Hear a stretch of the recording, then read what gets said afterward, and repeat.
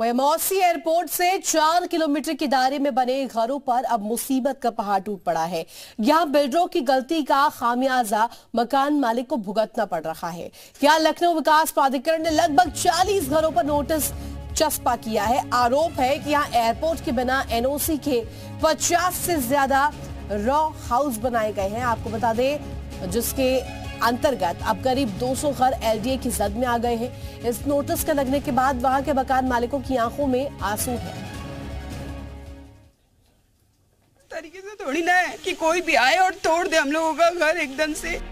पाई पाई जोड़कर जो आशियाना बनाया उसे पल भर में तोड़ने का नोटिस मिला तो आँखों से आँसू बह निकले। बीमार है उसके बाद हमारा घर तोड़े बस हमारी यही रिक्वेस्ट है आप लोगों से। मेहनत की कमाई और बैंकों से कर्ज लेकर जैसे तैसे घर बनाया।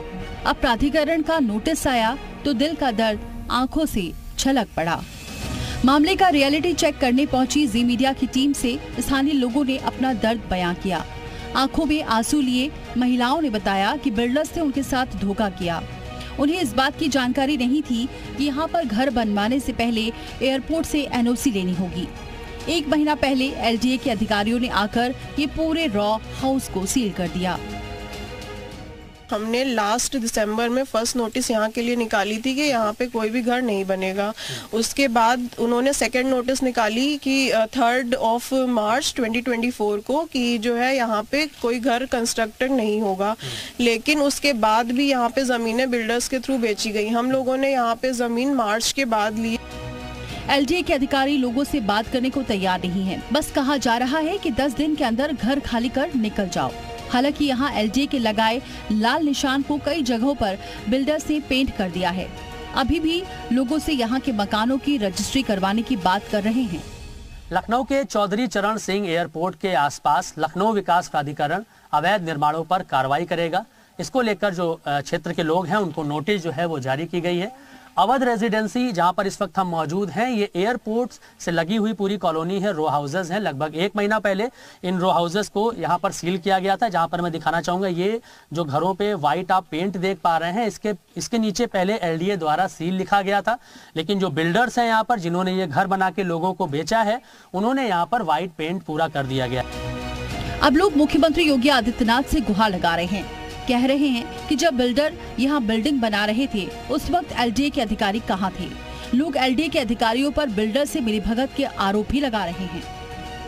हमारे इसमें कोई गलती नहीं है अगर इसको प्रॉब्लम थी एयरपोर्ट अथॉरिटी को तो उस चीज़ को इन लोगों को पहले से चीज़ें रखनी चाहिए थी। हम लोगों ने अब ज़मीन ले ली घर बनवा लिया सारी चीज़ें कर ली हैं। तो उसके बाद तो शायद हम लोग साथ ये सब नहीं होना चाहिए क्योंकि अगर हमारा घर टूटा तो फिर हम लोग को बहुत ज़्यादा दिक्कत है। उन्होंने फ़िलहाल पूरे मामले पर एलडीए के अधिकारी कुछ भी बोलने को तैयार नहीं हैं। उधर लोगों ने कमिश्नर से मामले में अपील की है, जिसमें 19 सितंबर की तारीख दी गई है लखनऊ से जी मीडिया के लिए मयूर शुक्ला की रिपोर्ट और खबर पर जानकारी के लिए संवाददाता मयूर हमारे साथ जुड़ गए हैं लखनऊ से। मयूर, देखिए, लोग पाई पाई जोड़ करके अपना घर बनाते हैं, अपना आशियाना सजाते हैं, लेकिन बिल्डर की महज एक लापरवाही से या यूँ कहिए गलती से लोगों का आशियाना छिन जाता है और लोग, अब लोगों के लिए एक आखिरी जो आस है, वो केवल मुख्यमंत्री इस तरीके की तमाम शहर भर में निर्माण होते हैं जो कि अवैध होते हैं। बिल्डर को भी पता होता है कि तमाम तरीके की एनओसी इस निर्माण में लेनी चाहिए लेकिन वो नहीं लेते क्योंकि उनके ऊपर मेहरबान होते हैं एलडीए के अधिकारी। जो महिला वहाँ पे बता रही है कि दो बार उस क्षेत्र में एलडीए के द्वारा नोटिस दिया गया कि यहाँ पर कोई भी निर्माण नहीं होगा क्योंकि। यहाँ पर एनओसी नहीं ली गई है और यहाँ पर जो नक्शे हैं वो नहीं पास कराए गए लेकिन उसके बाद दो बार नोटिस देने के बाद भी चार से पाँच महीने तक लगातार वहाँ पे निर्माण होता रहा लोगों को घर बेचे जाते रहे।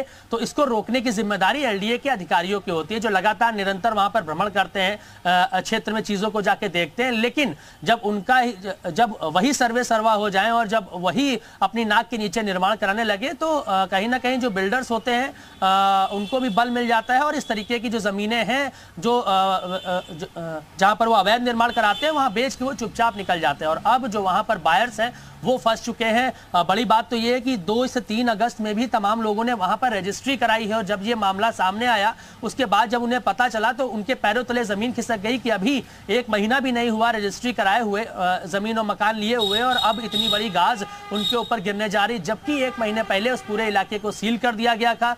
दीवारों पर लिखा गया था, एलडीए द्वारा सील। बिल्डर्स कोई आप लापरवाही देखिए कि उसके ऊपर उन्होंने पेंट कर दिया और पेंट करके उसके बाद भी लगातार उसको बेचते रहे। तो अब लोगों का कहना है कि ज़िंदगी भर की कमाई हमने यहाँ पर लगा दी और एनओसी वगैरह और यहाँ पर देखिए लोगों ने पाई पाई जोड़ करके अपना घर बनाया था आशियाना बनाया था। हालाँकि एनओसी नहीं थी अवैध इसे करार दिया जा रहा है और इसी को लेकर के एक्शन भी लिया जा रहा है। देखना होगा कि किस तरीके से इसको लेकर के आगे रुख रहता है। फ़िलहाल बहुत शुक्रिया आपका तमाम जानकारी के लिए।